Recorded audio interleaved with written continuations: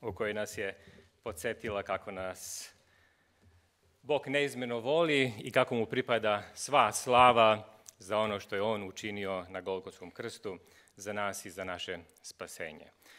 Draga moje braće i sestre, ja želim da prije krenemo na proučavanje još jednu tužnu informaciju da podelim sa vama. Malo čas sam zaboravio. Neki od vas odlično sigurno se sećate i dobro poznajete brata Velimira Šuberta. Brat Velimir Šubert, koji je propovednik i dugi niz godina je radio, radio i u našoj uniji, naravno i bivšoj Jugoslaviji. On je bio ovdje sekretar, blagajnik naše unije, on je zaspao u gospodu. Sahrana će biti 3. januara. Njegovoj porodici kao crkva izražavamo naše najiskrenije saučešće. Želim da pre samog obreda koji budemo imali, obred poniznosti i večere gospodnje, zajednički otvorimo knjigu nad knjigama, reč Božju, Bibliju. Draga moje braće i sestre, želim da ona ostane naš najveći izvor mudrosti, znanja, snage, novih odluka, novih ideja, novih poruka i ovoj novoj godini koja je pred nama. Čitat ćemo jedan kao uvodni tekst veoma poznati događaj, ali čini mi se da nije on događaj koji ga često spominjemo i često govorimo o njemu. Nalazi se u drugoj carevima, u četvrtoj glavi. Zaista jedno posebno iskustvo i zato želim da ga evo zajednički uh, podelimo i zajednički da se podsjetimo. Znači, druga carevima, četvrta glava, čitat ćemo od prvog stiha.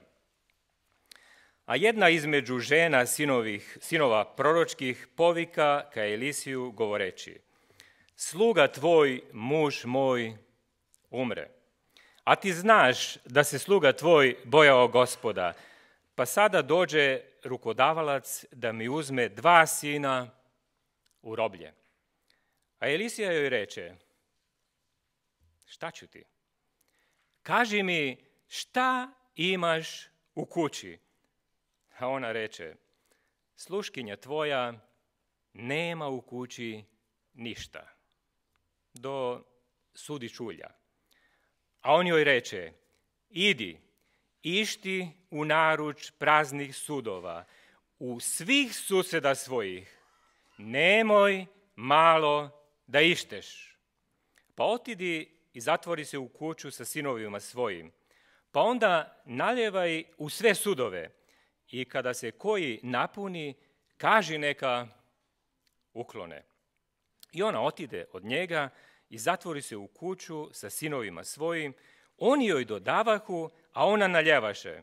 I kad se sudovi napuniše, ona reče sinu svojemu, daj još jedan sud. A on joj reče, nema više. Tada stade ulje. Dragi moji, ovo je jedan veoma ali zaista veoma neobičan događaj. Iz života običnih, jednostavnih ljudi, koji je istovremeno veoma težak, možda i tužan događaj. Ovo je i biblijski događaj, ali i biblijski događaji govore o ljudima, govore o ljudskim tugama, govore o ljudskim tragedijama, govori o ljudskim mukama. Ovo je jedan lični događaj. I možda nam je upravo zbog toga toliko blizak. Vekovima su ljudi i žene u svojoj muci otvarali reč Božju, Bibliju, u njoj nalazili utehu i ohrabrenje. Oni su u njoj tražili upravo ovakve, ovakve događaje događaje o oslobođenju, događaju u, o olakšanju, događaju koji mogu da ohrabre. I ne samo to, nego događaji koji mogu da pomognu. Događaji koji mogu da reše vaš, kakav god da je, trenutni problem. Iako Biblija govori o istorijama raznih naroda, a posebno izraelskog naroda, vi znate da ona govori i o istorijama pojedinaca. I zato nam nije teško da se pronađemo u biblijskim događajima, onima koji odslikavaju našu sliku, našu realnost.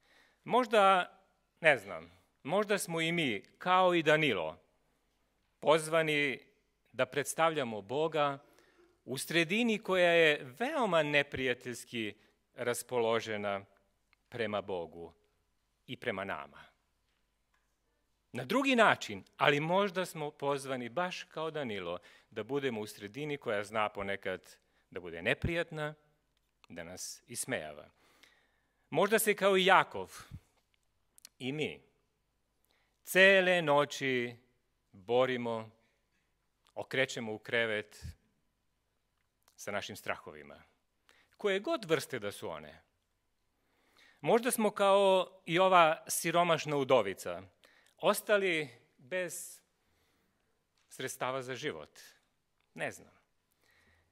Molba ove udovice je bila toliko uobičajena u onom blisko istočnom društvu da nije privlačila veliku pažnju. To je bilo nekako obično da neko ostane bez sredstava za život, da se nađe u teškoj situaciji. Prolazila je gotovo neprimećeno. Njen muž, koji je očigledno na osnovu ovog biblijskog izveštaja bio sledbenik živoga Boga, umro i ostavio gomilu neotplaćenih dugova iza sebe. Kada je već rasprodala, možemo sada mi da razmišljamo, saf nameštaj, kada je izvadila i onu posljednju paru iz svoje kese, ova žena se jako zabrinula. Jako zabrinula. Nije joj preostalo više ništa što bi njeni zajmodavci mogli da uzmu. Ni para, ni hrane, ni nameštaja, ni proizvoda koja ona imala tu u svojoj bašti. Nije joj ostalo ništa drugo osim njenih sinova. Sve što je ostalo, to su bili njeni sinovi. A vi znate, zakon je u staro vreme dozvoljavao da decu prodaju kao robove ako čovek nije mogao da isplati svoj dug. Sada su je njeni pohlepni kreditori dovodili do očaja, vršeći svakodnevni pritisak da se njeni sinovi prodaju kao robovi i da se na taj način izmiri barem jedan deo njenih dugova. Pitanje za sve nas, ali možda pitanje posebno za vas, drage sestre, drage majke. Koja majka bi mogla da se lako suoči s jednim ovakvim zahtevom? Koja majka bi suočena sa jednom ovakvom opasnošću mogla da ode kući, da legne i mirno da nastavi da spava. Ova dva sina bile su sve ono što je ovoj udovici preostalo na ovom svetu.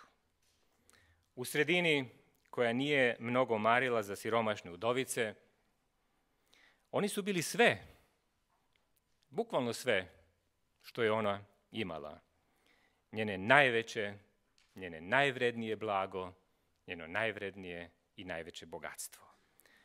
Neko bi rekao telo od njezinog tela i kost od njezine kosti. Ona nije mogla da podnese ni misao da svoju decu vidi izloženu na javnoj licitaciji, a kamoli da dozvoli da se to i stvarno desi da se to stvarno i dogodi. I tako, ova jadna žena u svom očaju i bespomoći, ona se obraća gospodnjem proroku. I mogu da zamislim da je Jelisijevo srce bilo duboko dirnuto molbom ove udovice. Njena tuga i njena bol bili su toliko očigledni da su njegove misli, misli ovog proroka, uzavrele od želje da preispita sve postojeće mogućnosti i da nađe način kako da izađe u susret, kako da joj sada pomogne. Možda, možda mu je došao predlog, ajde da sakupimo dobrovoljan prilog od ostalih proročkih sinova. Ali duh je veliki, a oni su, oni su siromašni. Što bi šanse da se sakupi neka ozbiljnija svota ravni nuli. Ajde da možda ustupim ja svu svoju ušteđevinu, ali ona je mala. U stvari, možda se setio, ja sam je već dao za jedan drugi slučaj. Dragi moji, vremena su bila teška, a zahtevi kreditora još teži. Još teži. A njihova srca potpuno otvrdnula od pohlepe i neosetljivosti. I zato Jelisije, kada je iscrpio sve te mogućnosti u kojima je on razmišljao, stao je i onda postavio to važno pitanje. Kaži mi, šta imaš u kući? Ajde reci, šta ti imaš u svom domu, u svojoj kući? Možda se u prvi mah ovo pitanje učinilo smešnim i neprikladnim i samoj ovoj udovici. Pa da joj ostalo još nešto u kući, zar ona ne bi ga prodala da bi se spasile, spasila svoje bede i nevolje, ogromne bede u koje se našla? Zar prorok kome sam se ja obratila misli da, da ja nešto nešto krijem, sakrivam u svom domu, da zadržavam još nešto što bi moglo da spasi njene sinove od sudbine koja je bila strašnija od same smrti. Ali zaista, u njenoj kući je bilo nečega što je izgledalo jedva vredno spomena. Na dnu, na samom dnu, njenog suda za ulje, bilo je još malo ulja. Možda samo nekoliko kapi. Dovoljno možda da se namaže čelo posle jutarnjeg umivanja lica, ali nedovoljno u svakom slučaju da se spremi ručak. Samo nekoliko kapi. Dovoljno ih da se koža bar malo namaže i zaštiti od pucanja, i isušivanja na vrelom pustinskom suncu. Ali, dragi moji, za plodni i kreativni, verujući prorokov um, i to je bilo dosta. I to je bilo dovoljno. Baš kao što je i naš spasitelj, Isus Hristos, stotinama godina kasnije u pet hljebova i dve ribe video mogućnost da se učini veliko čudo, tako je Jelisija u ovih nekoliko kapi, samo nekoliko kapi ulja, ugledao nepregledne reke ulja, koje mogu da donesu blagostajnje i izubilje u ovaj siromašni udovički dom.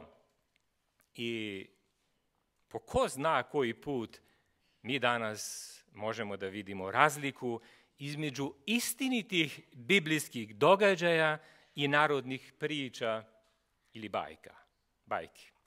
U bajkama, vi znate, neki moćni džin čini da carske palate niknu tamo gde nije bilo ničega. Ali iz Biblije doznajemo da Bog polazi od onoga što imamo. Naš Bog skoro uvek kreće, polazi od onoga što imamo i pretvara ga u nešto neshvatljivo, izuzetno, posebno, veličanstveno. Bog nije neki vešt mađioničar koji pokušava da nas prevari jednim možda lukavim, dobro izvežbanim pokretom ruke ili nekom majstorski napravljenom iluzijom.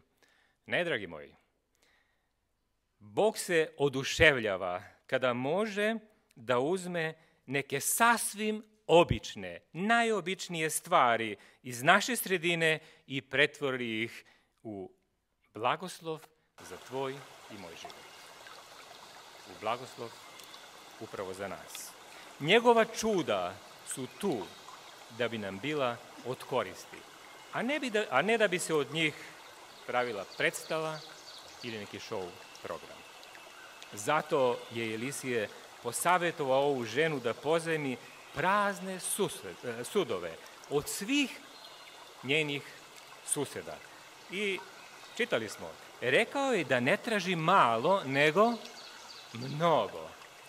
Mnogo sudova. I dok mi koji danas živimo u savremenom svetu sumnja i hroničnog, bi rekao, skepticizma, razmišljamo o ovome, nama se možda čini da je ovo krajna uobraženost. I evo pitanje.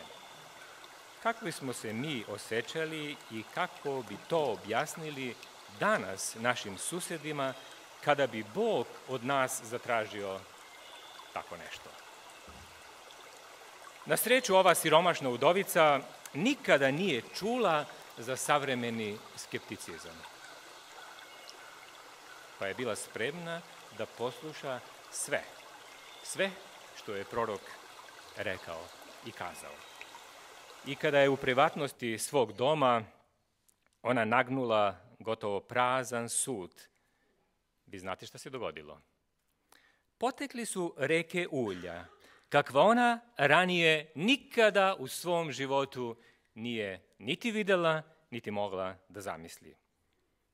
Sud po sud, krčak po krčak, čup po čup, kotao za kotlom, činija za činijom. Sudove su se punili sjajnim, glatkim, zlatno-žutim uljem, dok su mladići trčali sa praznih sudova i podmetali ih pod ovaj čudesni mlas, pred ovu čudesnu, neshvatljivu, za sve njih reku. Bog je stavio tako veliko bogatstvo u njen maleni krčak, da na kraju nije nedostajalo ulja, već sudova. Bog je toliko stavio bogatstva i blagoslova da na kraju nije bilo problem sa Božim blagoslovom, nego problem je bio sa sudovima. Ulje nije prestalo da teče sve dok se nije napunila svaka šerpa i svaki lonac i svaki krčak i svaki kotao i svaka činija, svaki čup, svako bure svih susednih kuća, sve što je ona donela i skupila i to do vrha. Jedini problem koji se pojavio kada je počela da teče reka ulja, bio je nedostatak praznih sudova. Jedini problem, draga moja braćo i sestre, u ovoj situaciji je bio nedostatak sudova. Za sve, one koji imaju otvorene oči i mogu da vide, reke ulja, moram da vam kažem, da teku i danas. Mnogo toga je devalviralo, mnogo toga propalo, mnogi su bankrotirali, ali, draga moja braćo i sestre, tvoj i moj, naš Bog nije bankrotirao. On je i danas moćan i moćni nego ikada. Ali reka Božih blagoslova će teći samo ako postoje prazni sudovi da ih prime.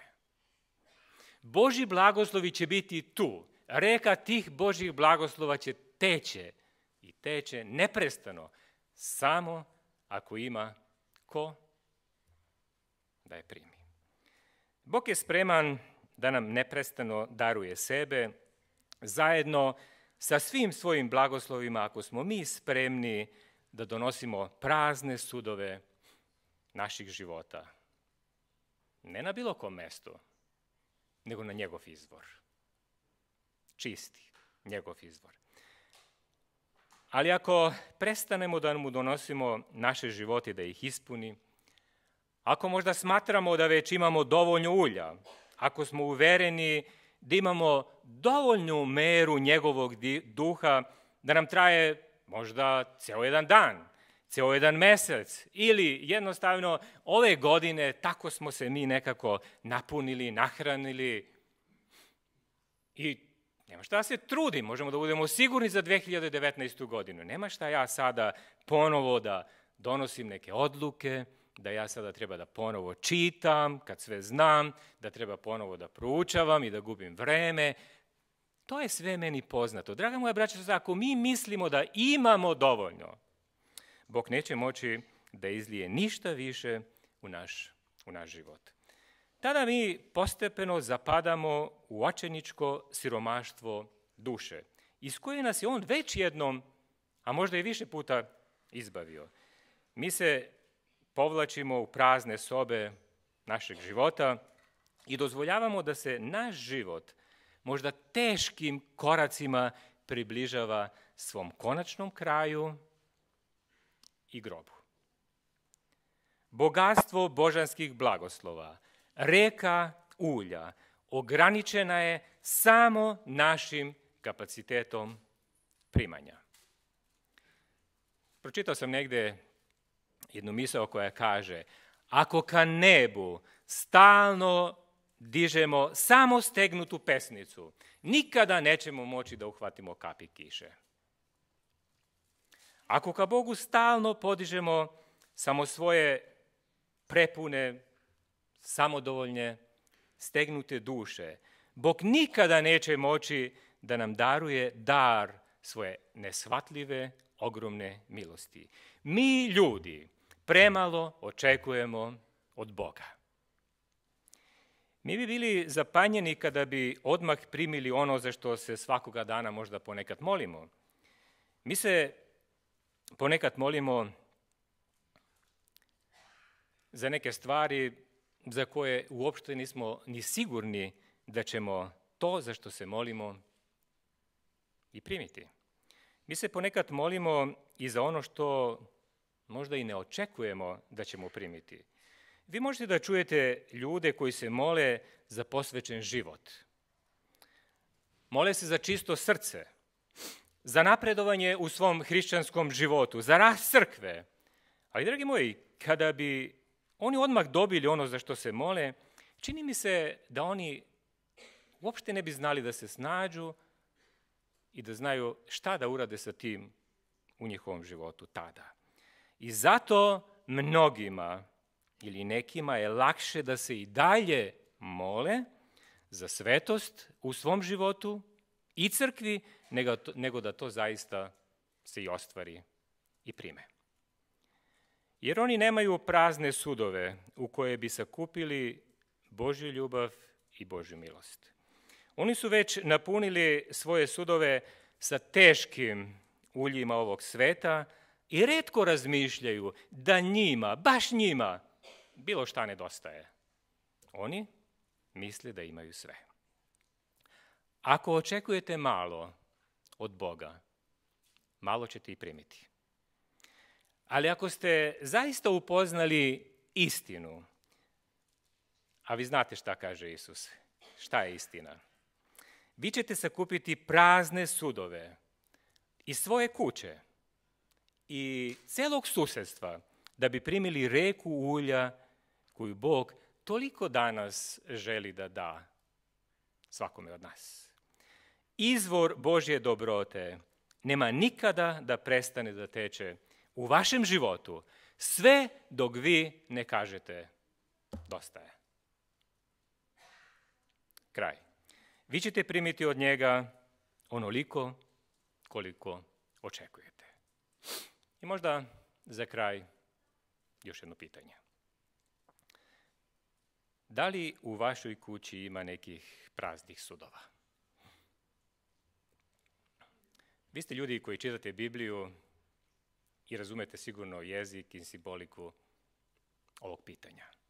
Dragi moji, da li u vašoj kući ima nekih praznih sudova? Ima li u vašem životu praznog mesta da bi se izlila reka Bože dobrote, Bože ljubavi i Bože milosti? Božja reč i Bože obećanja su sigurna, zato što Bog može da nam da nezamislivo više od onoga što tražimo ili pomišljamo da tražimo. Zapazite Isusove reči koje je on uputio svojim učenicima u Jovanom evanđelju u 16. glavi 24. stihu. Dosle ne iskaste ništa u ime moje, ištite i primit ćete. I šta onda? Da radost vaša bude ispunjena. Radost tvoja i moja, brate i sestru, da bude ispunjena. A nažalost, danas toliko malo verne Božje dece, adventista, ima koji su ispunjeni radošću. I džavo nas gleda i smeje nam se. Kako možemo da budemo srećni, blagosloveni, ispunjeni, radosni, a tada možemo da budemo so, tada možemo da budemo videlo ovom svetu. I pošto on zna, želi da nam uzme upravo tu radost na koju nas Biblija poziva. Braćo moje i sestre, moja iskrena želja je da se u ovom subotnom danu i godini koja je pred nama, naša srca i misli ispune Božjom dobrotom, ljubavlju i milošću. Da se ispune zahvalnošću za već primljene potoke Božih blagoslova i verom za reku Božih blagoslova koje ćemo sigurno primiti. I da našem životu uvek ima praznih sudova u koje ćemo sakupiti te Božje blagoslove. Da bi na kraju, kao i pravedni Jov, i mi mogli da stanemo i da kažemo, vi znate one reči iz knjige o Jovu, 29. glavi 6. stih, gde kaže, trak, a vi znate kroz šta je sve prošao Jov, i on kaže, trak moj se oblivaše maslom i stena mi točaše uljem, znate kako? Potocima. Takav je tvoj i moj Bog kome smo odlučili da služimo. I neka naša nova odluka za novu godinu bude ta. Bože, želimo da budemo u potpunosti Tvoji. Mi bez Tebe smo ništa, ali s Tobom najvrednije nešto što može svemir da zamisli. I neka ta odluka bude nešto što će se pokazati i ostvariti u našem životu. Sada pred nama je prilika, braći i sestre, kada mi Bogu, ljudima, anđelima, svima možemo na praktičan način da pokažemo da smo spremni za službu. Na taj način što ćemo sestra sestri, brat bratu oprati noge, kao što je Isus rekao, dao primjer. Kada ovo znate, kaže, blago vama ako ga izvršujete. Ja želim da bude blago meni, tebi sestro, tebi brate, svima nama, zato što slušamo i izvršujemo Isusov nalog i Isusova uputstva. I tako spremni da služimo ponizno u novoj godini i da budemo spremni za obred koji je pred nama, da obnovimo naš zavet sa Bogom i da se radujemo njegovom skorom susretu. Neka nas Bog blagoslovi, a sada ćemo po redu i običaju koju crkva ima otići na obred poniznosti i onda ćemo se vratiti na obred večere gospodnje.